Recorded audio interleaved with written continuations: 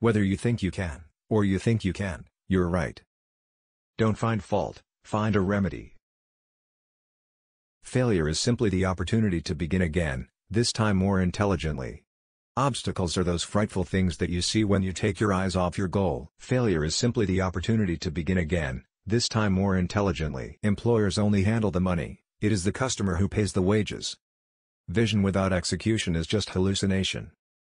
A business that makes nothing but money is a poor business. To teach that a comparatively few men are responsible for the greatest forward steps of mankind is the worst sort of before everything else, getting ready is the secret of success.